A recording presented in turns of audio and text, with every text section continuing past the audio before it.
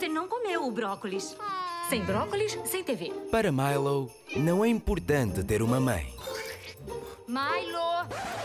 Não vai me obrigar a comer agora, vai?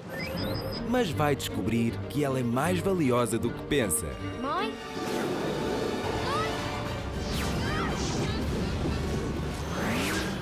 E vai viver uma aventura em Marte, Eu não quero confusão! Eu só tô tentando achar minha mãe! com personagens super divertidas. Eu tô brincando. Não percas este filme do outro mundo. Lá vai ele! Clube Z, Marte precisa de mães. Este sábado, no Zap Viva.